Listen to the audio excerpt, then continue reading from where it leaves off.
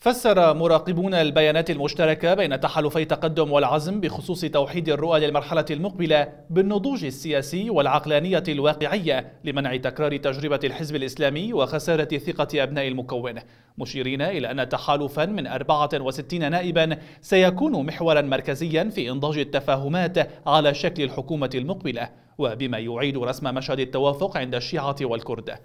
وأشاروا إلى أن توحيد البيت السني على قاعدة المصالح والتحديات الاستراتيجية يزيد من فرص تحقيق المطالب في إعمار المناطق المدمرة بالحرب على الإرهاب وملف النزوح والمغيبين وأربع إرهاب. ليدخلوا إلى الاستحقاق الدستوري الجديد من باب شراكة الأقوياء.